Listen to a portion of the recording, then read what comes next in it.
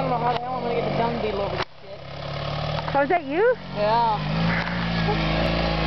Ah! Ah! Run!